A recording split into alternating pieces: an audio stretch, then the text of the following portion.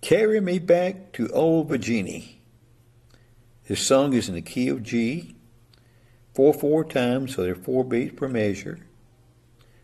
In the right hand, we're playing the melody.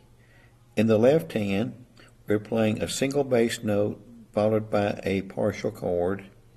The three song, the three chords used in the song are G, C, and D.